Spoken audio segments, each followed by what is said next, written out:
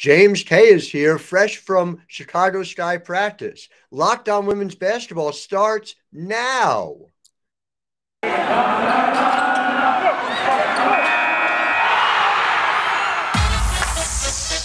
You are Locked On Women's Basketball, your daily podcast on women's basketball, part of the Locked On Podcast Network. Your team every day.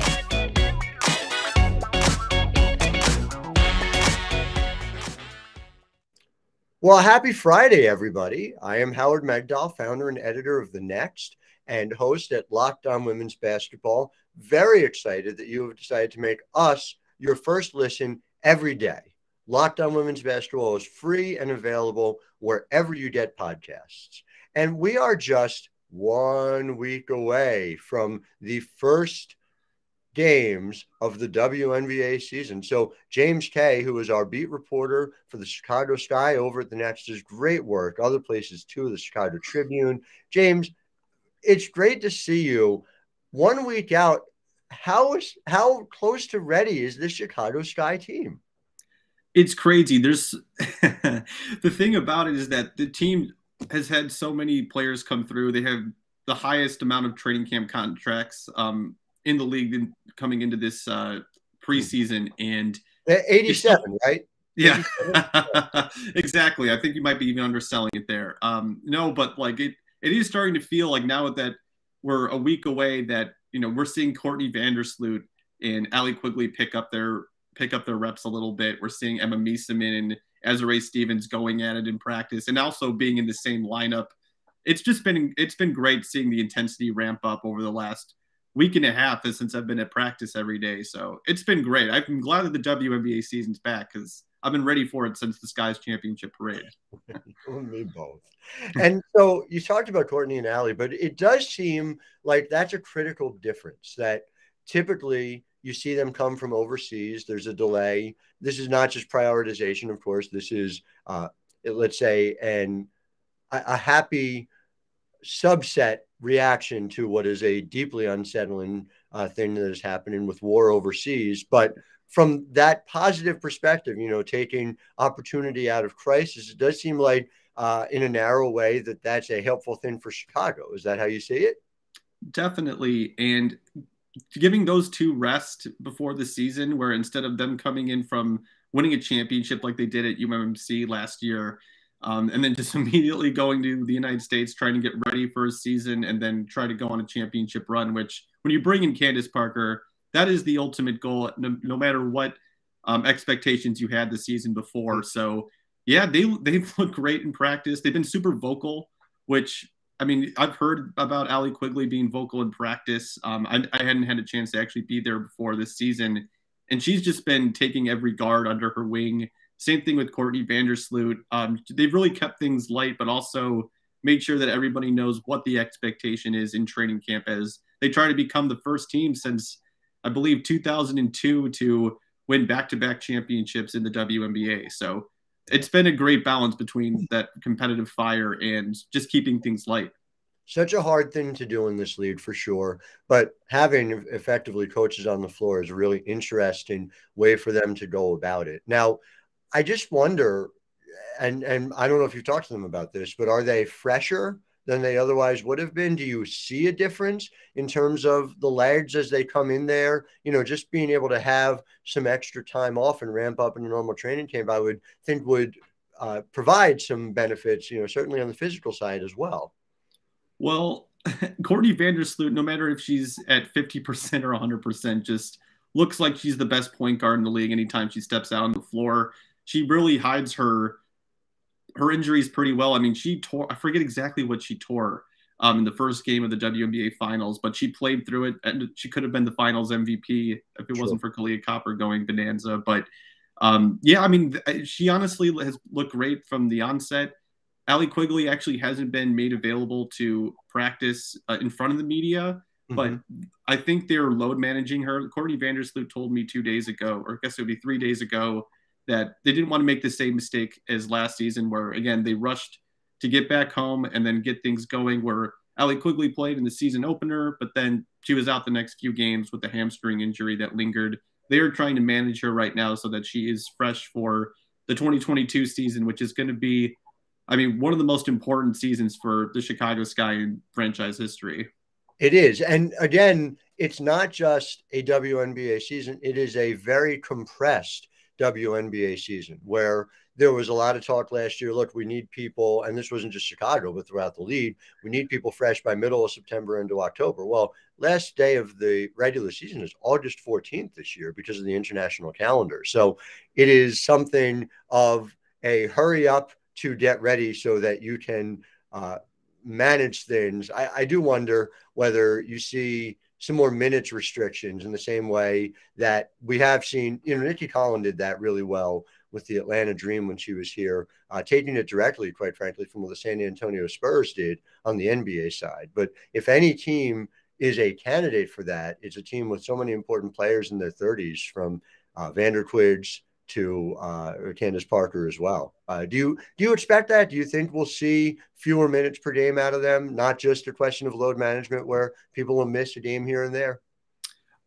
I don't know if it's going to be about them missing games necessarily, but they're not going to be playing 30, 35 minutes a game the way that they were down the stretch. Um, there was one point where Allie Quigley was paying, playing like 32, 35 minutes a game. Courtney Vandersloot last season at one point was playing the most minutes per game in her career which when you have all those miles that they've accumulated since they got to the league, it's just you want to give them some a breath of fresh air. And the, one of the things that I think is just going to be super crucial for them is having Julie Allemand, who's going to be able to back up both of them. She is a combo guard that can spot up for you, but also create for her teammates.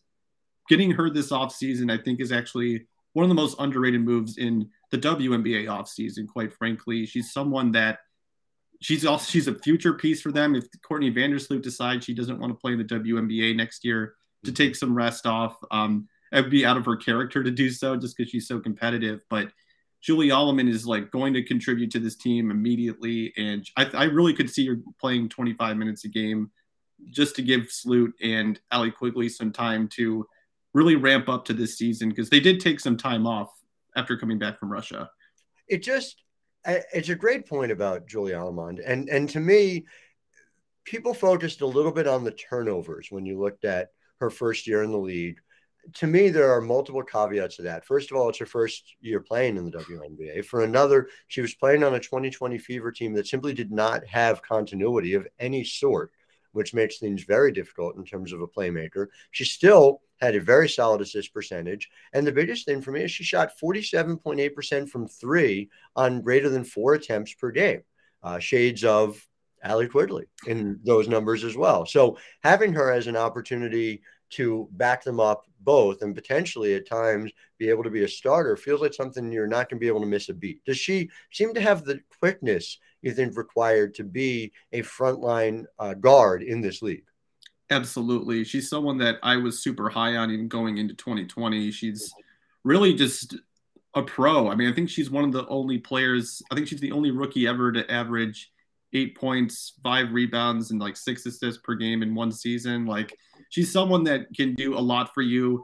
Ann Wauters, who's the new assistant coach on the Sky, is someone who told me the other day that Julie is so excited to get to Chicago. She's someone that's going to love the atmosphere in Chicago, just given how everyone works so hard. And she's antsy, Howard. She's so antsy right now because she even asked Ann if she could give a play to Julie just so that she can get going on the season so that when she gets here, and Ann's like, you know what, you got to take care of business in France. We'll, we'll, figure it out once you get here. But that's the kind of player that Julie Allemand is. She's someone that really wants to hit the ground running wherever she goes, and she wants to win so freaking bad. And when you have a player like that coming into this environment, like there's just not enough. Like there's just a perfect fit for her coming into, um, you know, coming into this locker room.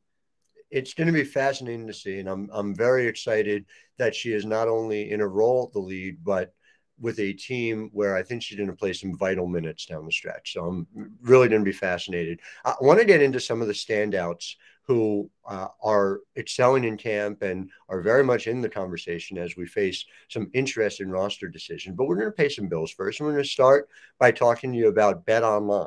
BetOnline.net is your number one source for all your betting stats and sports info. Find all your latest sports developments, league reviews, and news, including this year's basketball playoffs, start of Major League Baseball season, and critically, from my view, WNBA odds, just like there was NCAA women's basketball odds during the collegiate season. If we are looking at true equality, and it's something we believe in very much at Locked On Women's Basketball, that means making sure that there is equality in the sports wagering side of the sport uh, of, of sports in general as well. So head to the website today or use your mobile device to learn more about the trends in action for both men and women. Bet online where the game starts. So the game is going to start for the Sky over the last week of the season with a very big time center, somebody who has been with the Chicago Sky, was originally drafted by Pokey Chapman, Imani McGee Stafford. and so, you know, full disclosure, I just, you know, people need to know this. I've known Imani a long time. I've covered her since she was in school. Imani actually was a writer for High Post Hoops, the predecessor uh, of the next and covered the 2017 WNBA draft with me. Our, our crew covering the 2017 WNBA draft uh, was uh, Meg Linehan, who's the fantastic women's soccer reporter at The Athletic now. Uh, congratulations, Meg, on winning the APSE Investigative uh, Award, by the way. Well deserved for her vital work on NWSL. And Imani and myself. And we were the we were the trio. So I come into it hoping for Imani. I mean, the story, just the fact that she went to law school and is now coming back uh, is fascinating in and of itself. But take me through what you see about her, because I am also uh, a longtime admirer of her game on the court. So when I talked with James Wade a couple months ago, one of the things that stood out to me was that he said that Imani McGee Stafford's shooting ability is something that he's actually confident. Like he said, I think the exact words were her sh- her shooting form is fine. She's someone that we could see expanding her range, and she has kind of showed that a little bit in practice. Um, you know, she's not really shooting three pointers, which have kind of been a prerequisite for any Chicago Sky big, just as, just because they play five out and like to keep that space open for a player like Kahleah Copper to be able to get to the rim, um, mm. free up those lanes for her. So, um, no, but she's been interesting. I mean, like I love her competitive spirit too. She's just somewhat she's just a great person in general. I had a chance to catch up with her a couple days ago. And um, yeah, I mean she's she's expanding her range a little bit. There was a play in the preseason where the um, the help collapsed on the help defense collapsed on Emma Meesseman and she passed to Imani McGee Stafford right by the left free throw line extended. And she just hit like just catch and shoot. And it was a, you know, she swished it, you know, it was a perfect, um, I mean, I think that was really indicative of like who she could be on the Chicago Sky. You can't teach six seven, Howard. I think that's also one of the biggest things that we have to talk about here is because she is someone that could really be useful to them when they face bigger teams in this league. When you go up against Liz Cambage, when you go up against Sylvia Fowles, one of the things they did last year was have Studio Fall who is no longer with the team. She's actually taking the WNBA season off. Mm-hmm. They had Studio Fall just bump bodies with any big down low. Same thing with Steph Dolson, who's kind of a bruiser down low, even though she kind of has drifted out to the three point line a little bit. Um, but we'll see her more on the block with the uh, with the Liberty. But um, yeah, I mean that's. I, I do want to point out, by the way, Steph mentioned that last night or yesterday afternoon, I should say, at Liberty Media Day. She said, you know, I, I I'm really effective down low. Not everybody thinks so, but I'm going to show them this year. So so you are spot on on that. Steph is ready to to prove everybody wrong about that, or at least those who said it. But go on. That, that doesn't surprise me at all. I mean, she, she I mean, she's been effective down there, so it doesn't surprise me. But Imani, I think, is someone that she's you know she's still trying to get into game shape. She she told me that she realized at um, Athletes Unlimited that she was she realized that she needed to do more to get back into basketball shape and that she wasn't as quick as she was before. She lost 30 pounds in the off season, which mm-hmm. I think that when you're trying to get back into game shape, I mean, that shows what your work ethic is. So um, she wants to get back in this league. I, at six seven, she's really someone that could help this team. I think that she does need to clean up some aspects of her game, though, just what I've seen in practice, where maybe um, she just needs to get more reps in. You know, she just needs more time, and um, she could help this team definitely. She has the athleticism and maybe even the touch from um, again from 18 feet and out. So let's talk about the touch because what's fascinating about Imani is that in college, her head coach, Karen Aston, who again, point of personal privilege, I think was unjustly let go by University of Texas, uh, given the success she had developing players and routinely reaching the second weekend of the NCAA tournament. Uh, she also had her players prepared for the pros, by which I mean she had Imani shooting the ball mid range and even out to three. I, I, think there was a season where Imani was something like 12 for 28 from three at University of Texas. She hasn't gotten those reps at the pro level. And so getting the opportunity to get on the floor and being able to show that is something that is really the lone remaining stumbling block, as far as I can tell, to her being the type of stretch five this league needs. She is also, we didn't say, and it's so true, you can't teach six seven, but it's not just six seven. Her career block percentage is 4.6%. It would rank among the lead leaders. She is a solid rim protector, even in her limited minutes that she's had throughout this league. Now, several regimes ago, or I guess it was one regime ago, but she was here in Chicago and she was basically asked to play the four next to Steph Dolson. And that's not really her game. And it doesn't need to be her game and it shouldn't be her game.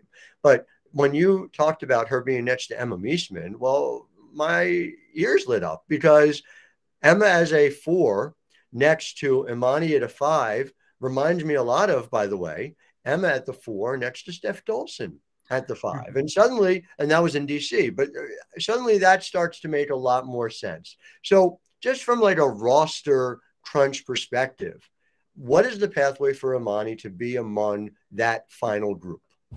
It's really complicated because she is a veteran who's played at least three years in the league, which means she's going to be making just a touch over seventy-two thousand dollars this year. The mm-hmm. Sky, right as it currently stands, the Sky can't roster someone at that price point and also an uh, even in just a regular rookie um who I guess it would be like around sixty thousand dollars, sixty-two thousand dollars, something like that, mm-hmm. and they they would be just short of like a few hundred dollars in order to make that work. I haven't talked to James Wade about this. It's something I've been kind of curious about, um, but they would have to do some financial maneuvering to make room, like to have Imani be on this roster, just because mm-hmm. of that.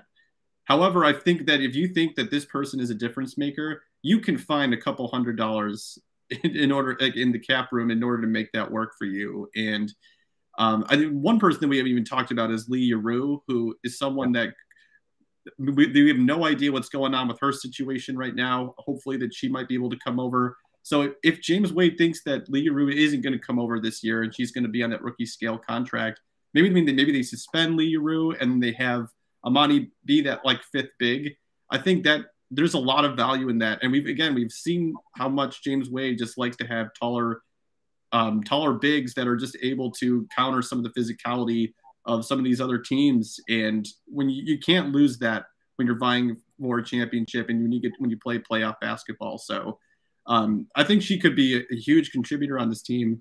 And she only needs to play five to ten minutes a game. We're not asking like the sky are going to go to Imani and say, look, we need you to be a 25 minute per game player. It's like, no, just be an energy player for 10 minutes, if that. And there's a lot of value in that, especially trying to get through the regular season healthy, which is always their objective. It, it's critical, and she can absolutely help with that. Well, I'll be fascinated to see. Like I said, uh, you know, out of all the people who have written for me, I think Imani has the best chance of making the Chicago Sky. And so I'm offended by that, Howard. No, I'm, I was say our, our, present company definitely included myself as well, but all the same, I we certainly would like to see no, notable alum Imani Madi-Stafford make it uh, as well. Also, I think the only one in camp with a law degree, so I would imagine that could come in handy as well. She's actually still in law school, so That's right. she she's went, not quite there yet. But well, yeah. she, she, she told me she changed track. So first she was doing like a t- accelerated track she, right. Her final isn't going to be done by the time the season opener happens. So that's just life of the WNBA is crazy, man. it really is. It it really is. Well, we've got a couple more to get to. We're going to pay mm-hmm. some bills, uh, but we're going to talk about Emma Meesseman as well as a, a mystery player right after this. But first, let's talk about Rock Auto. With the ever increasing number of makes and models, it's now impossible for your local chain auto parts store to stock all the parts you need. Why endure often pointless or seemingly intimidating questioning and wait while the person behind the counter orders the parts when you can do it yourself. You have computers with access to rockauto.com at home and in your pocket. You can save 30%, 50%, or even more over what a chain store or a car dealership is going to be able to take you. Rock Auto is a family business serving do it yourselfers for over 20 years, reliably low for every customer. So go to rockauto.com right now and see the parts available for your car or truck. Right, locked on in their How Did You Hear About Us box so they know we sent you. Amazing selection, reliably low prices, all the parts your car will ever need. RockAuto.com. So, Emma Meesseman, we know she can succeed in this league, to put it mildly. She's a finals MVP. she has grown as a player, she's developed confidence. I still remember talking to her as a 19 year old, new to this league, and trying to make her way forward with the Washington Mystics and trying to understand how good she was going to be. I think she gets it now. Uh, what kind of Emma Meesseman are you seeing in Chicago Sky Camp, and how critical is she going to be to this Chicago team? So when I talked to Jen Hatfield, who covers the Washington Mystics for us, she said that look, Emma's kind of reserved. She doesn't really open up to the media as much.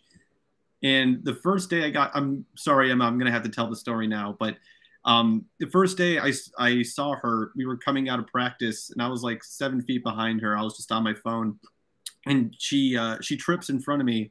She turns around and she says, did you see that? And I say, uh, wait, what are you talking about? She said, oh, I just tripped. And I'm like, don't worry, I won't put that in my story, but I didn't say anything about podcasts, Emma. Um, and, uh, you know, I introduced myself and, uh, I told her like, you know, that Jen had covered her for many years and said great things about her. And she said, yeah. well, how could she not?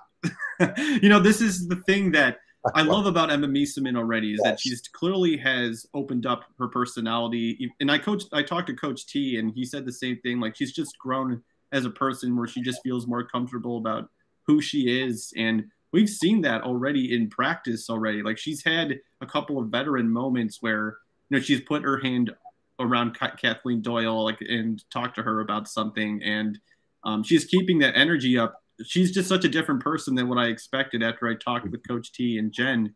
And um, yeah, I mean, she's been electric even on the court with her performance. So that's the kind of Emma Meesseman that the Chicago Sky fan base is going to get accustomed to. She's growing up here. I mean, it, it really is. You know, you think about it, to come to a new country at 19 and just how difficult that had to be. So I'm I'm delighted to hear that she's so comfortable just on a on a personal basis. But as a player too, it does feel as if, and this is no knock on Steph Dolson, who's a very effective player, but in a lot of ways, Emma Meesseman's going to replace Steph's minutes. It seems like when you think about it, and Emma has a higher ceiling if we're going just based on production in the league so far, even than Steph, who is a former All Star.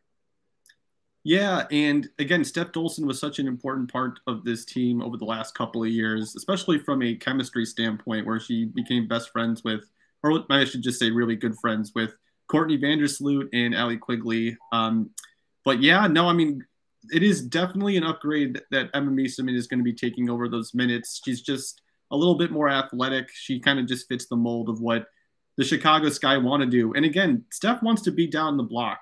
Emma kind of thrives outside of that. I mean, and she also, I mean, not to say that she's not a good post player. I mean, actually, if you look at her advanced numbers on synergy, she's someone that can super effective around the rim as well. But um, yeah, no, Emma, my I, think that she's maybe missed four or five times in the in the practices that I've seen um, during practice. I, she just doesn't miss. She scored 24 points in 26 minutes in the Sky's first preseason game, and yeah, Courtney Vandersloot said it best. Basketball looks easy when it comes to Emma. So it really does. It's she really raises their ceiling. North of 37% from three for her career and has a bunch of seasons over 40. It, it, it's going to be fascinating to see this James Wade offense with Emma Meesseman in, in, it. I'm really looking forward to it. Before I let you go, we got to talk about a player who we were having a conversation about beforehand, and I, I, I flat out need to acknowledge so that our listeners, I hope, feel better as well. I cover the league pretty closely and have for a long time, but there is somebody on the radar named Sparkle Taylor, and, and I just don't know about her game. I just don't. So take me through because you're saying it sounds like Sparkle Taylor is not just somebody in camp, but somebody who has uh, a legitimate chance to make this roster. So I spoke with James Wade about Sparkle Taylor yesterday, and she's someone that he called a walking bucket. Like he kind of lit up when talking about her. And I always take note when James Wade does that because, you know, I, I, know that interviews just aren't the thing that he loves to do when he's like at camp trying to focus on his job, which 100% makes sense. He lit up when talking about Sparkle Taylor. He said he loves her scoring mentality. And he really made the point of like, she almost made the roster last season. Like, hmm. on a championship roster that was that had Candace Parker in it, the expectations were so high from a media perspective. And that was a team that was just going to be hard to crack a roster on just because of how the immediacy of um, their expectations of wanting to win a championship.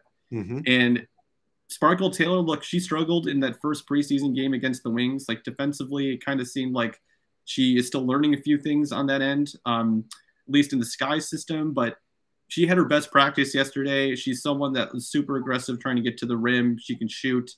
Um, and you know what? Sometimes the Sky need, especially in the second unit, they need someone that can just be like, you know what, guys, I got this. And um, that's a kind of mentality that I think James Wade values.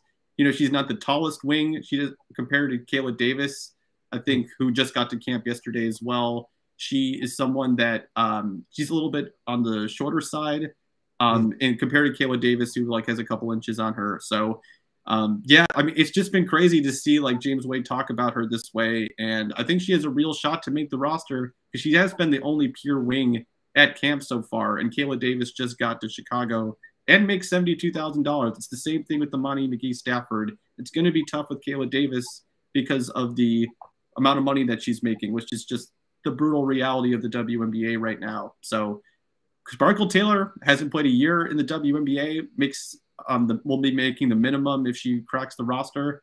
I think she has a real good shot at backing up Kahleah Copper, which is the Sky's number one priority right now in figuring out.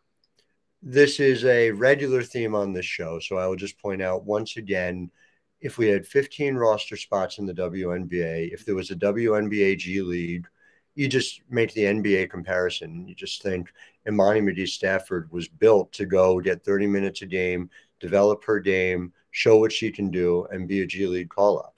Sparkle Taylor somebody who could be able to go and show what she's capable of down there. And instead, that's not going to happen for a handful of players in every single camp around this league once again. So I, I understand why expansion is a difficult conversation. I do. I I don't really understand why the G League is quite the same level of conversation uh, as something that could really help the league and could uh, be a financial saver in a lot of ways by having these players here, having them ready to go. Um, and I very much think that it is short sighted that there is neither a 15 player roster or even 13, just more than 12 and an injured list. I, I just think these are short sighted decisions uh, made by the league it is so necessary to expand these rosters with how banged up a lot of these players come in after being overseas. And if you're, would you rather see Courtney Vandersloot at 100% or at 80%? Like, mm-hmm. again, I, I just think about it in that perspective, like where you just able to give these players a little bit of breathing room to rest up playing one of the most difficult sports. And honestly, one of the sports that is just so taxing on your body we need we need expansion. Um, but again, I know it's not a, a conversation that's going to be, uh, you know, really. Um, I don't know. It, it, we just need to uh, veer away from Twitter when it comes to that conversation. Let's. Uh, it's better to talk about it in this setting. So I just mean, you know, expansion yeah. requires a market, a place to play, and really well capitalized owners. Right. Expanding your rosters simply requires the owners that are already there to give a little more in what would ultimately pay for them many times over in a lot of different ways. So I'll keep banging the drum. I, I just seems very clear to me. But listen, everybody needs to go follow James Kay. Everybody needs to read his work at the next, especially about the sky, where he has been a regular practice, where he's been getting interesting and informed perspectives on what this team is doing. James, I'm so glad you're aboard, and I'm so excited that you're covering it for us. Uh, all the best to chat with you. Yeah, thanks so much, Howard. This was great. Uh, before I let you go, I did have one thing. this year would be crazy, but I, I think you, you, need to know about it. Obviously, to our listeners, thank you for making Locked On Women's Basketball your first listen every day. I have been informed that there is a men's basketball league also. Um, I wasn't sure if you had heard of it. It's true. It's true. It's called the NBA. And so, yeah, so I'm, I'm, I'm apparently Chicago even has a team, the Bulls or something. So now Make your second listen locked on NBA from the first jump ball of the play in tournament to the last possession of the finals. Locked on experts take you deep inside the playoffs. I'm, I kid, of course. There are wonderful NBA hosts who I've worked with, and even folks like Tony East, who uh, yeah. covers Locked on Pacers for Locked on NBA and covers the Fever for us on the WNBA. Locked on NBA, very important that you make it our your second listen for the day, insight and analysis affecting all 30 teams. Once you've finished with Locked On Women's Basketball, and we're here for you every day, make sure you check out Locked On NBA too.